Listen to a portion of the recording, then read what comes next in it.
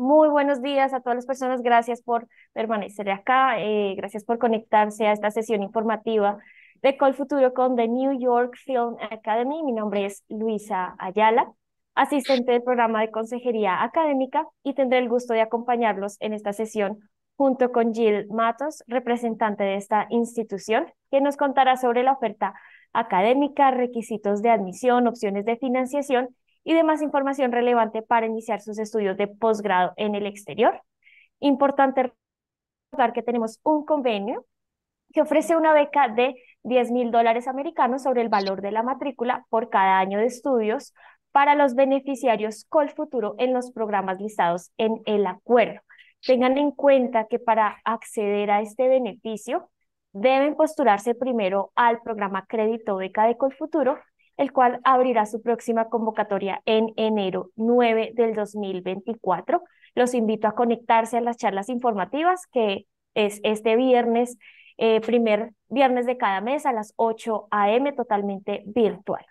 Bueno, y sin más introducción, mil gracias Jill por acompañarnos el día de hoy y puedes iniciar tu presentación. Bueno, Muchas gracias a Luisa, bienvenidos a todos. And um, si me permiten, voy a hacer esto en inglés porque mi español es un poquito machucado a veces. Uh, so uh, I'm going to do this in English. So, um, but si tienen alguna duda, me la pueden hacer en español también si se sienten más cómodos. But um, anyways, thank you for joining uh, and thank you Colfuturo. We are very, very happy with our, uh, our relationship that we've had now for uh, almost 10 years now with the New York Film Academy and Colfuturo and all the wonderful students that we get uh, from Colombia, uh, thanks to the, the our, our, partnership and help with you guys uh, as well. So uh, I want to give you guys some information about the school. Um, I am the regional director for Latin America and the Caribbean. So when you apply, you'll be working with me or my team or somebody from my team. So we will work with you every step of the way through the process.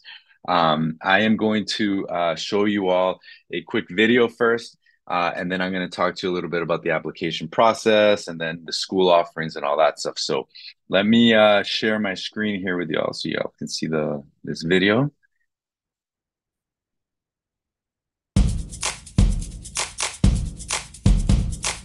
Soy de Panamá. Venezuela. Venezuela. Quito, Ecuador. Uruguay. La Ciudad de México. Colombia. Colombia. Bogotá, Colombia.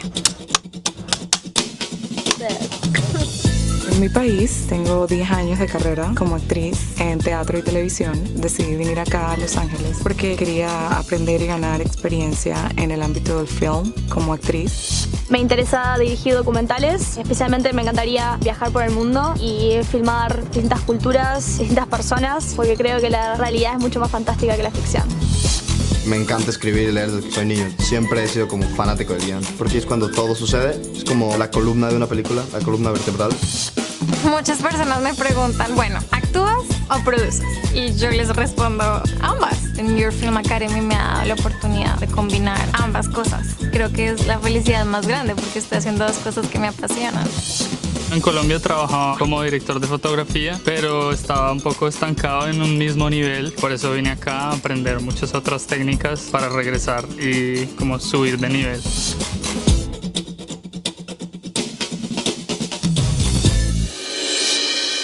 Por lo general las carreras son muy prácticas, en términos de que siempre estás haciendo cosas. No estás todo el tiempo en un aula leyendo un libro. El primer día de escuela, mi maestra nos puso a escribir pequeñas historias, lo cual dije, wow, y a la semana ya estábamos trabajando en nuestro primer guion. Todos mis maestros trabajan en la industria, tienen muchísimas experiencias y anécdotas. Puedes tener consultations con todos los profesores que quieras, las veces que quieras. Todas las semanas hay un Q&A con alguien que tuvo éxito con alguno de sus proyectos y generalmente son gente muy reconocida. New York Film Academy me ofrece diferentes workshops y diferentes intercambios con Universal y con Warner. Es una oportunidad muy buena poder estar en un estudio de grabación tan grande como de Universal. Puedes hacer tus trabajos ahí, puedes practicar ahí. NAIFA da oportunidades muy chéveres. El acceso a las cámaras, el acceso a las locaciones. Y eso sin duda alguna me llamó muchísimo la atención. Yo dije, este es un lugar donde puedes encontrar muchas oportunidades, muchos contactos.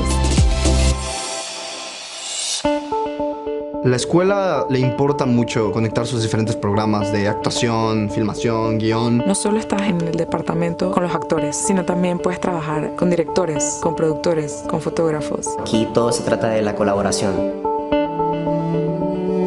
New Film Academy tiene algo muy especial que es lo multicultural. Hay personas de todas partes del mundo. He conocido gente de Rusia, de China, Mozambique, Italia, Brasil, Malasia, que igual que uno están en un lugar extraño buscando aprender. En el mejor de los casos nos obliga a abrirnos un poco. Siempre está el enriquecimiento de trabajar con gente diferente porque siempre puedes aprender algo. Que también puedes agregar a tus películas cuando las haces.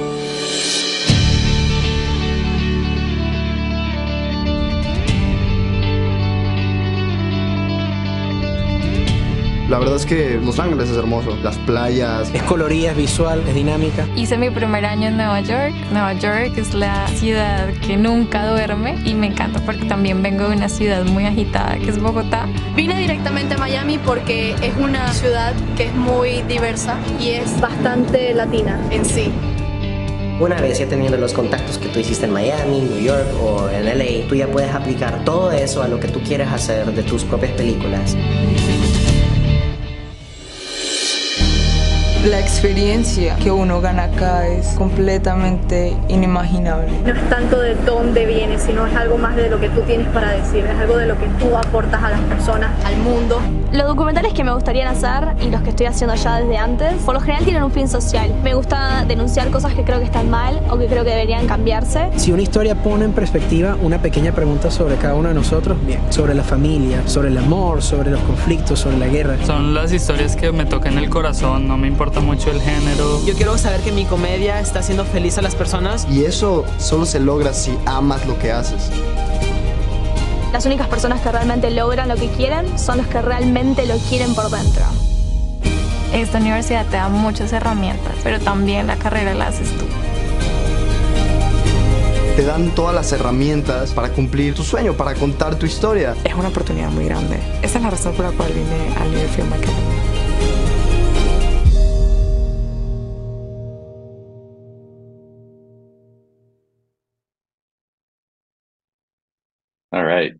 Um, inclusive, creo que, oops, let me shut that off. Um, creo que los tres de Bogotá vinieron de Colfuturo. Um, so, anyways, I'm going to talk to you guys a little bit about the program and the school here. And then I want to give you guys some advice as well. I'm going to talk a little bit about making your portfolios, auditions, and stuff when you are applying to film schools or acting schools and what you should be including on that. So, um, the video does a great job of talking about how practical New York Film Academy is, what you're going to be studying here. I always tell students that if you're the type of student that likes to learn from lectures and theory and you know getting uh, uh, talked to in speeches and stuff like that, this is not the school for you. This school is going to give you theory. It's going to give you technique. Okay, get in front of the camera. Okay, go get the camera. Show me what you learned. So it's a very project-based curriculum. Um, so without further ado, these are the master programs that we offer. Uh, the ones in blue are visual and performing arts, uh, or sorry, the um, the visual arts. Uh, performing arts is in pink, and then the graphic arts is in yellow. So you can see the different type of programs we offer there. Uh, we have a couple of MA programs which are one year master degrees. So there's an MA in producing and there's an MA in film and media production. Uh, those are only offered in Los Angeles. The other MFA programs, you can take them in either Miami or LA. Now, why didn't I say New York there? Uh, we don't offer the full master's in New York. However, if you are doing a two year master's, you can do the first year in New York and then do your second year in Miami or in LA. Um, so if you wanted to get the the double two city experience, you can do it that way as well. Um, but these are the different master programs we offer here.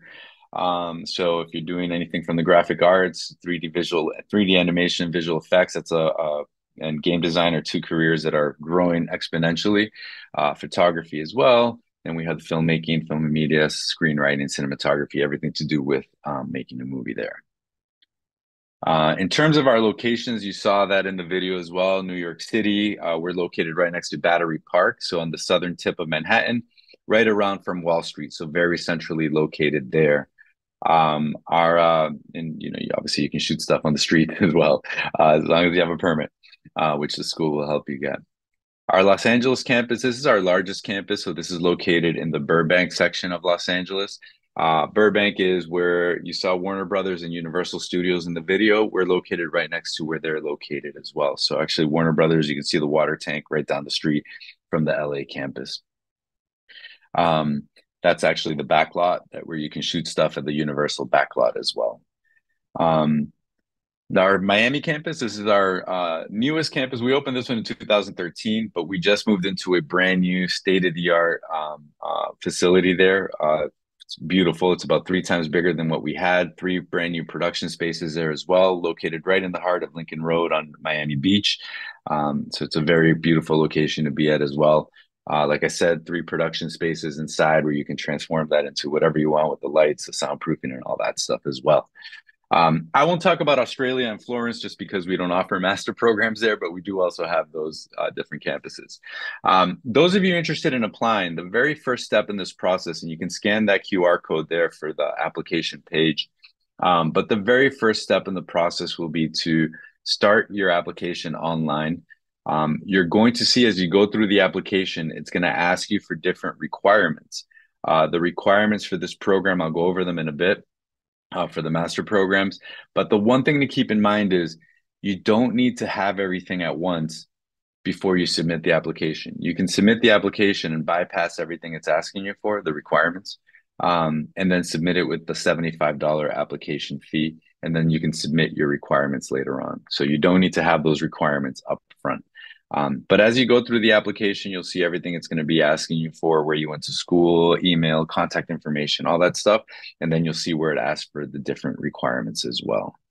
Um, once you submit your application, it will you will get access to the application portal where you're going to be able to upload all of your stuff. So when you create your application and submit it, then you can start uh, also uh, submitting your documents afterwards as well, all of the requirements. Uh, so to go over some of the ad, uh, application requirements, like I said, it all starts with the application. Then you have your uh, portfolio or audition, which I'll talk a little bit more about later because that's very, very important. Uh, two letters of recommendation. They could be from from any teacher, any counselor, anybody you've done work for. It doesn't necessarily have to be somebody that is in the industry. Now, if you have somebody in the industry that can write one for you, that's great. But honestly, I would rather have a math teacher that knows you very well and can speak about your character and why you would be a good choice for the school than somebody who maybe you worked with for two hours that's in the industry, right? So when choosing your recommenders, you only need two of them, uh, but it could be anybody that knows you well. Please, not a family member and not a friend. Uh, I know that sounds funny and I know that sounds obvious, but I did have one time uh, um, un estudiante que su mamá escribió su carta de recomendación. Uh, and uh, como buen mamá latina, it was an amazing letter recommendation, but unfortunately we couldn't use it. Uh, like, who is this? That's my mom. Well, can't have your mom write your letter. Well, but she's my boss. No, no, no, I can't, can't do that. So just keep that in mind. Um, keep it out of the family of friends. Uh, narrative statement uh, is an essay, un ensayo, where it's going to be two pages describing why you want to go to New York Film Academy and what you want to do afterwards. Now, narrative statement uh, or essay, whatever the school you're applying to calls it, my big piece of advice for this that I always tell students is this is your opportunity to give your application a little bit of personality and a little bit of life, right? Um, up until this point, your application is a name, email address, home address, where you went to school. We really don't have a sense for who you are. With the narrative statement, this is going to give us a better understanding of who you are as a person, why you want to study this, why are you passionate about it, and what are your plans afterwards, right? So take that opportunity to, in those two to three pages, to describe all that and give us a better understanding of that. Um, transcript and diploma, these are your transcript is notas, uh, and diploma is your diploma certificate. So obviously, in your case, this will be your university transcript and university diploma. If you are still in school and you're not graduating until uh, May or so, you can apply with your current in progress transcripts and you can submit the final one and then the diploma later on. Um, we will need translations to English uh, from these. Um, so you will need to do, we'll need the Spanish and then the English version as well. If you're applying to a master's in Miami, you will also need what's called a credit evaluation, which is going to be basically an evaluation done by a NACES certified company where it says that that degree and, and diploma is equivalent to one in the United States. We all know they are. This is something the state of Florida requires us to do. Um, but uh, but yeah, so that's a little extra step if you're applying to the Miami campus. Uh, and then your IELTS, TOEFL, uh, or Duolingo exam. Um, really, I this this slide's a little old because we're not accepting Duolingo anymore, so it would need to be TOEFL or IELTS. We did accept Duolingo for a while during COVID and all that, but um, so uh, but TOEFL or IELTS. Uh, so for the TOEFL, you're going to need a 78 or higher, and then for the IELTS, it'll be a 6.5 or higher on that exam. Um, again, I just want to remind we will have a question and answer session. So if you do have questions, um, you know, start writing them down, and uh, we'll uh, we'll get to them in a bit. Uh, I mentioned the audition and the creative portfolios. Uh, these are really really important because not only are they part of the application requirements, but it's what's going to also determine what you get awarded in a talent-based scholarship, which is a partial scholarship that that we offer. Now, we mentioned at the beginning that because of our agreement, el convenio with with Colfuturo, that you, if you're selected for Colfuturo, you will automatically get ten thousand dollars from the school. That is true per year. Um, now, one thing I do want to note is that regarding depending where you are in the application process, um, you may have already submitted your audition or portfolio and have already received a talent-based award before you're awarded Colfuturo, right? So what that means is that whatever, if you are awarded Colfuturo and you've already had, let's say, five thousand dollars in talent-based scholarship, um, we will add that up to a certain point. So it doesn't mean that if you fifteen thousand already, you'll get an additional ten thousand because of the agreement.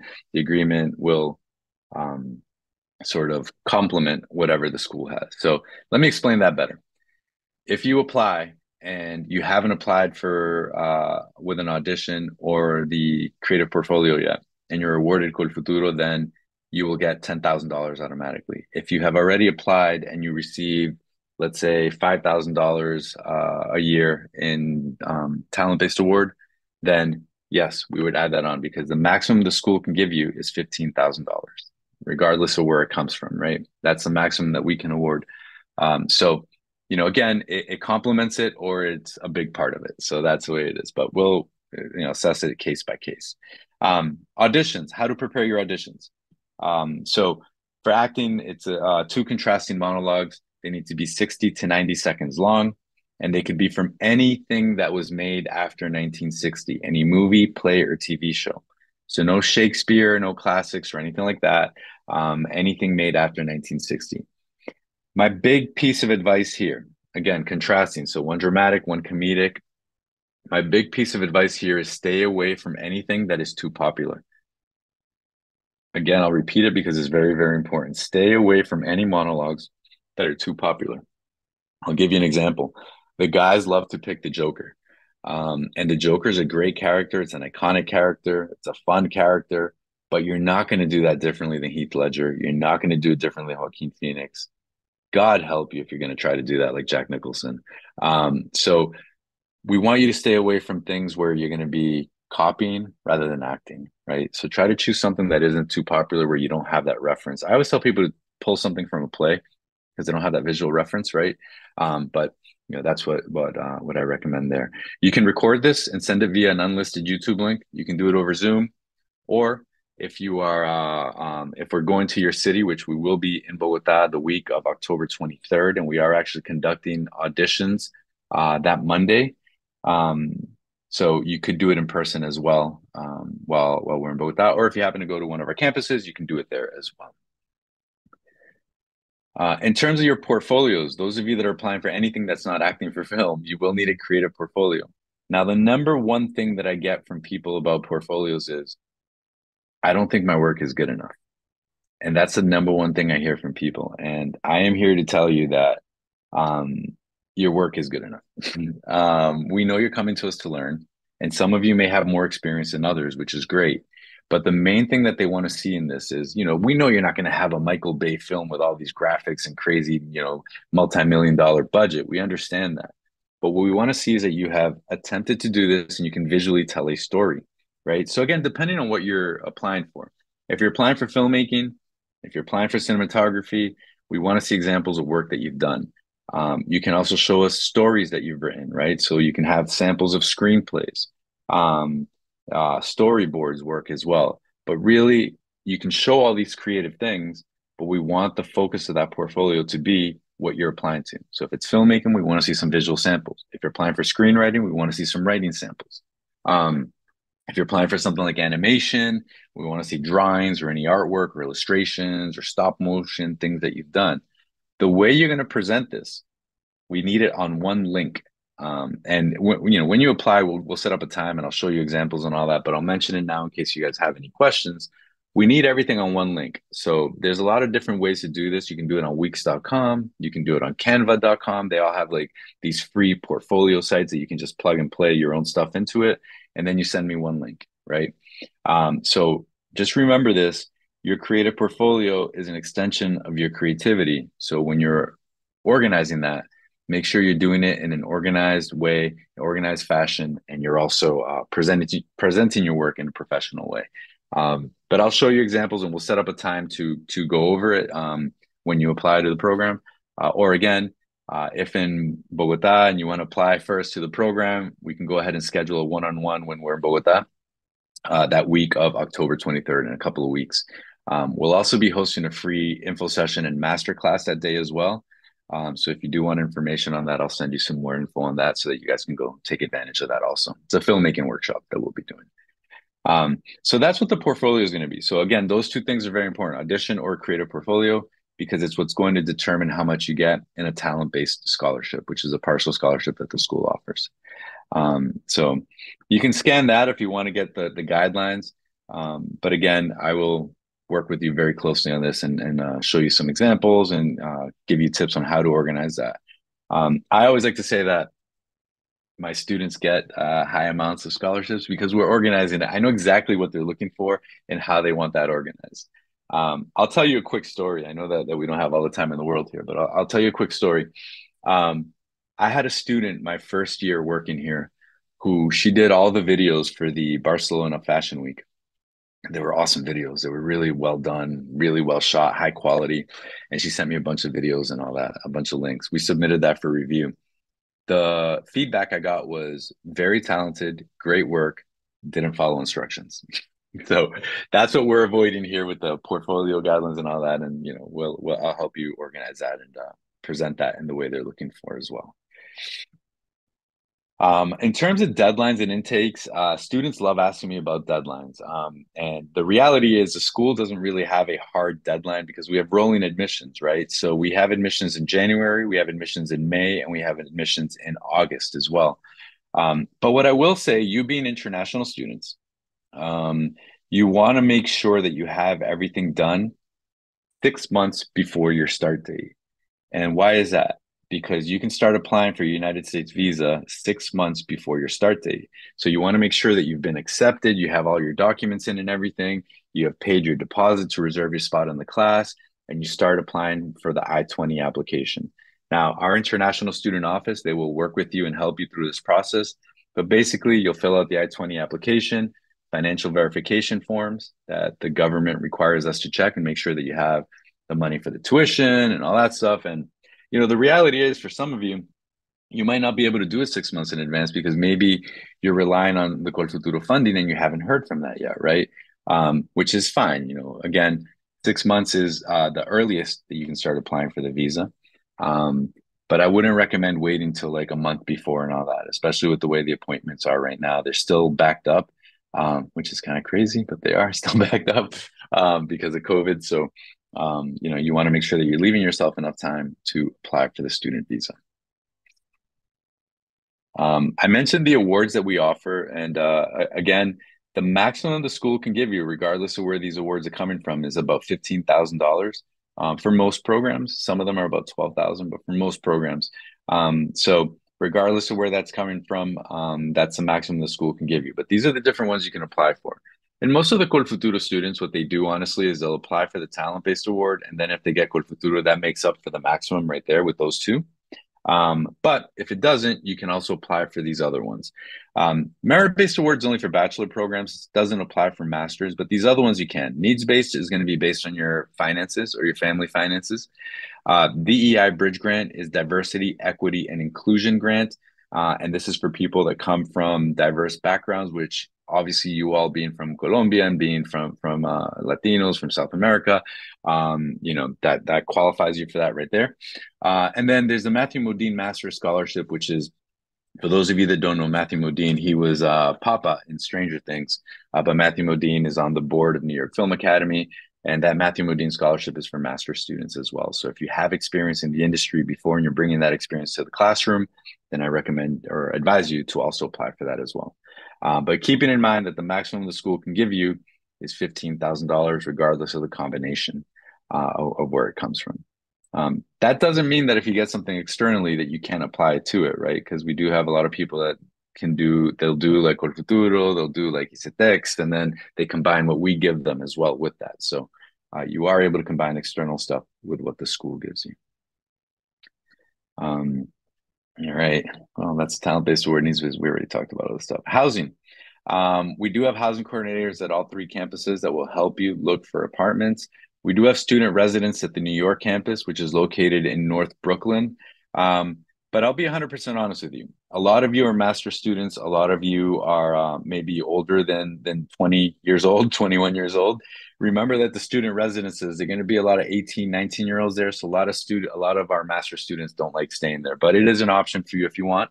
Uh, if not, we will assist you in finding a roommate or another uh, student who's starting off and looking for a roommate as well, or maybe current students that are looking for a roommate. Um, you know, I'm based out of the Miami campus. I can tell you that here in Miami, uh, over 90% of our students live within walking, biking, skateboard, scooter distance from where the school is, uh, and they have everything that they need right there in that area. Um, so again, as an international student, just to reiterate the steps that you're gonna have to take remember I mentioned at the top of this, your very first step is going to be applying to the uh, program that you want, submit all of your documents, get accepted. Then you submit all of your I-20 stuff. That's where our international student office will work with you.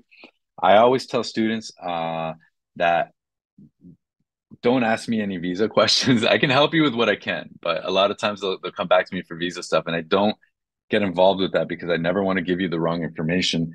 Y para mí, todo lo que tenga que ver con las visas es como japonés. so, um, so I never want to give you the wrong information. I can give you basic info, but most everything related to the visa is going to be with our international office. Everything else is going to be with me or my team. Um, so these are the different steps that you'll take here. Um, you saw in the video the guest speaker series, and that's something that's really cool for students as well as you know we do constantly have speakers on campus that U.S. students will have access to, um, and you can see uh, a lot of names here, obviously, you, you will uh, recognize. Uh, obviously, Spielberg, Pacino, Ron Howard. Um, but we do, you know, constantly have different types of guest speakers that come on campus um, to speak to the students as well. Uh, in terms of our alumni, we're very, very proud of what our students have gone on to do and the work that they're doing in the industry. Uh, you can go to our alumni page, which is, which is nyfa.edu forward slash alumni, and you can see by program what different people are up to. Uh, these are some of the more notable ones. You know, Bill Hader, uh, Barry, great show if you haven't seen it. Uh, Issa Rae also, her show on Insecure, uh, or sorry, her show on HBO Insecure was really, really good. Aubrey Plaza from Parks and Recreation and a bunch of other stuff. She's also a NYFA alum. Uh, Manuel Garcia Rulfo, he was in The Lincoln Lawyer and uh, the, the Magnificent Seven as well. He's a NYFA alum. But you can check it all out and check the, uh, the, the page there to see what some of our alumni have been up to. Um, and that's it. Let's open it up to some some question and answers. Uh, I'm curious to see the uh, the questions that y'all have. Let me stop the screen share here. All right. Gracias por la presentación. Entonces ahora vamos a continuar con la sección de preguntas. Los invito a quien esté conectado pues que pueda escribir en la sección Q&A eh, y Jill con gusto las responderá. Tenemos aquí una pregunta de Angélica Dice, ¿qué recomiendas para el portafolio de un productor? el portafolio de un productor, este, bueno, pueden mostrar cualquier video que hayan producido. pueden mostrar también si tienen notas de production notes, de location scouting, anything that has to do with that whole production aspect, budget, scheduling, todo eso que tiene que ver con production costume design, este, si tiene algunos uh, guiones que has escrito, también puede mostrar eso, um, videos que han hecho. So, hay muchas cosas que puede mostrar uh, en, en, el portafolio de un productor. Uh, a lot, a lot of things that you can put in there. So, yeah. So, what makes a, a strong candidate for the New York Film Academy? Um, I think the, the number one thing, and and this is never a problem with students that come from Colfuturo because they're all very, very good. If you're applying to this, it means you're a very good student. Um, the main thing that I'm always looking for is students that are passionate about this. Um, because I'll tell you right now, and I've told students in the past before, you know, we'll get a lot of students sometimes that are like, yeah, I want to study. Why do you want to study this? I like movies. Okay. Have you tried it before? Have you written it? No, no, I just, I like movies. Okay. I'm like, um, and you can sometimes tell the people obviously that are a lot more passionate about it than people that are just like, yeah, you know. Um, and the, the truth is like if you're not passionate about it, these programs are going to eat you up alive.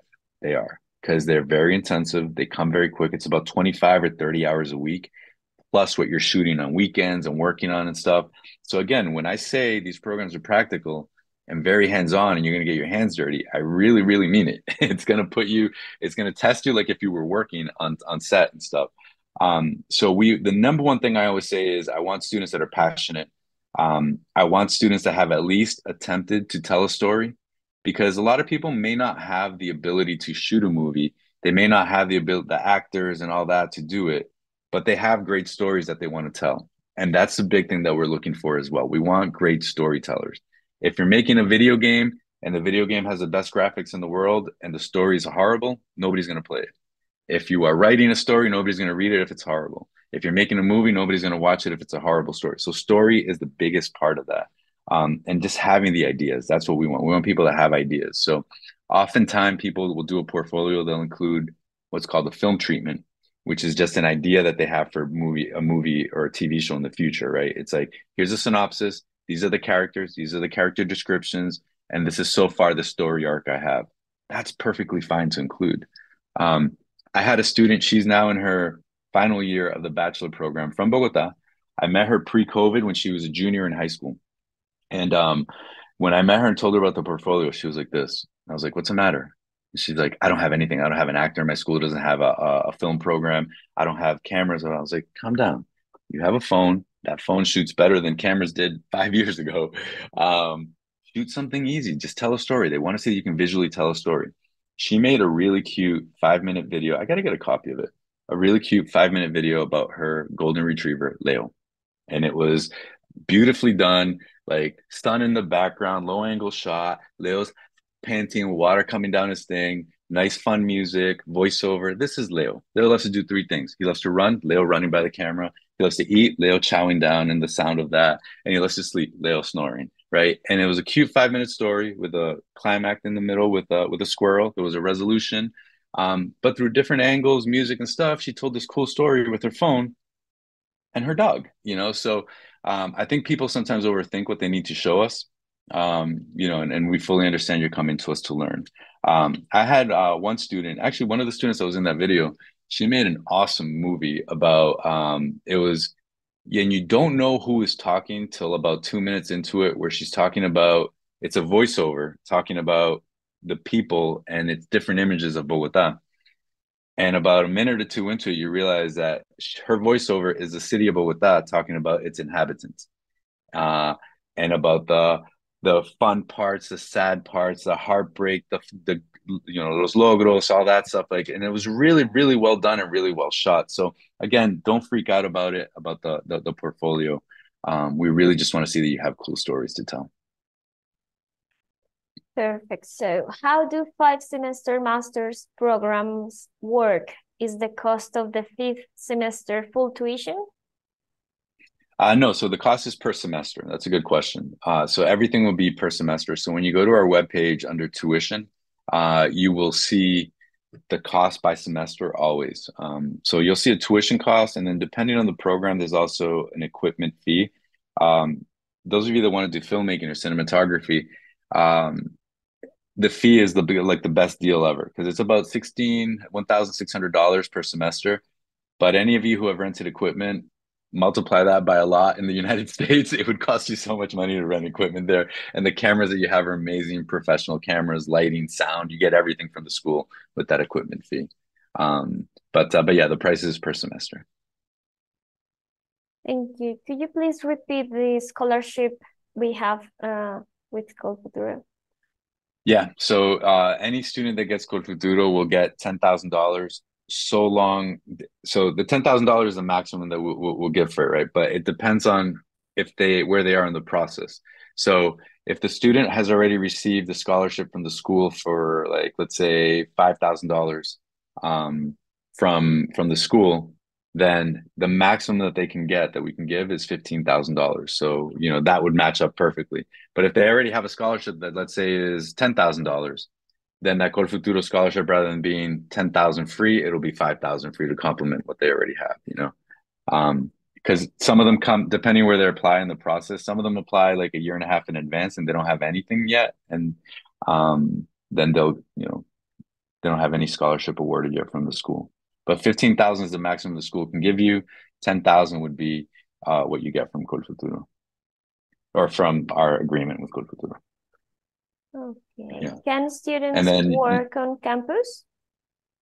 Uh, th- another good question. No. Um, so we're not, uh, uh, some schools, like for example, like, uh, like University of Michigan or like those really big schools that have about 50,000 students, uh, they're very different because they had, they're obviously a lot larger. They're like cities, you know. Um, our schools aren't that big. Uh, so your classroom sizes, you'll never have more than 14 people in a class. Um, it's, it's very small in that sense. So you're not able to work on campus. Um, as a student, you're not able to work legally either in, in the United States until you graduate. Now, when you graduate, you can do what's called OPT, uh, which is an extension of your visa. OPT stands for Optional Practical Training, and it will allow you to work in the United States for a year after you graduate. Um, so it's a really good way to get experience. Uh, it's a really good way to get out there and get into the field. Uh, we've had students that came to us from Colfuturo that did the uh, one year OPT, and then they were able to get work and get you know sponsorship and different things like that afterwards. I'm not saying that's what you should expect because it's it's not the easiest thing to get, but it is possible, and, and there have been students that have been successful with that. Yeah. Can the students choose to uh, do an internship during the master's program? Yeah, they definitely can. Um, so if students uh, want to do an internship, they definitely can. Um, what I will advise with that is um, internships are very hit or miss. And what do I mean by that? An internship, you might get one where you have this amazing person you're working for, they're teaching you a lot and you're doing a lot, but you may also get one where you're just getting coffee and making copies. Now, again, at the school, everybody who's under that roof, we don't offer science, we don't offer business, we don't offer uh, derechos, we don't offer medicine. Everything we offer there is related to visual and performing arts and, and the film industry. What that means for you is that everybody there is a potential network for you and it's a potential person you can collaborate with. And we definitely push that collaboration. Um, I always say that a lot of schools offer acting, filmmaking, and what we offer, but at a lot of schools, those departments don't interact we encourage that interaction here and we want you to know because as a director a filmmaker it's very important for you to learn how to direct actors not your friend who's also in directing and gets in front of the camera. Actors same way. You need that interaction. So what i mean by that circling back to the internship is that you need to assess for yourself if that internship is going to be worth it more than the stuff you're going to be creating while you're in school. Because remember you still have your projects and everything going on that you have to work on while you're in school that you're creating and this is going to be part of your reel at the end. It's going to be part of everything your stuff that you're going to submit to film festivals. Um, so is that internship going to be more important than that? Um, you need to assess that yourself, right? Uh, some of them are, some of them aren't. So, um, but the school does. Um, I didn't mention it, but a couple of things that we have. We have our industry outreach team that will help you with your reels. They'll help you with setting up a plan for when you graduate, like to to try to get a job. And I preface it with this too.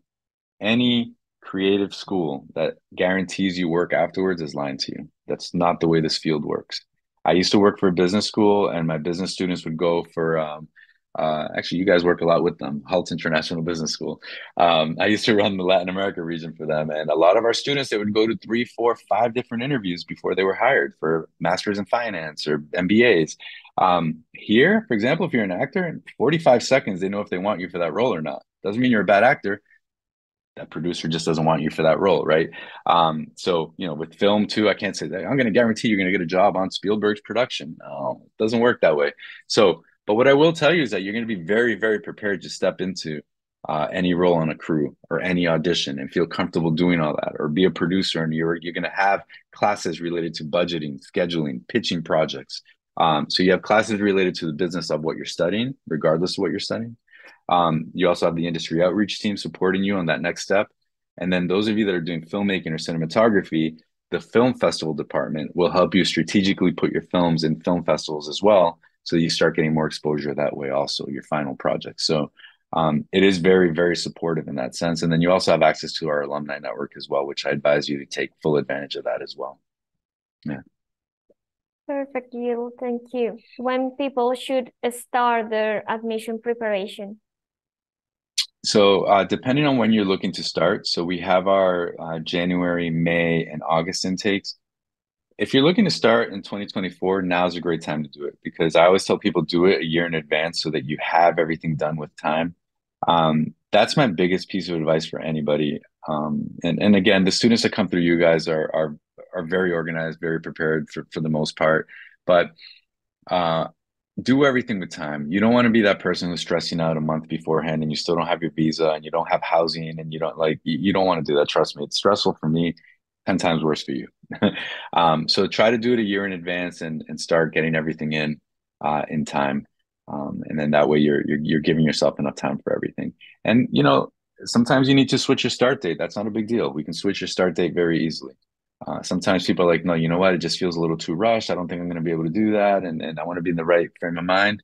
Perfectly fine. We can always switch your date to later on. Um, but yeah i would definitely start that process a, a year in advance. Could you please repeat which is the minimum level of english students need to have? Yeah yeah. And i, I want to add if you want to start in in in january or may it doesn't mean that now is too late.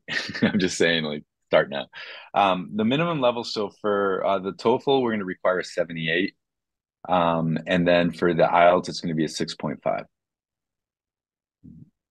Perfect. Well, uh, if you went to an IB school or you studied a year or longer at a at an English speaking university uh, in an English speaking country, then you can get a waiver on that.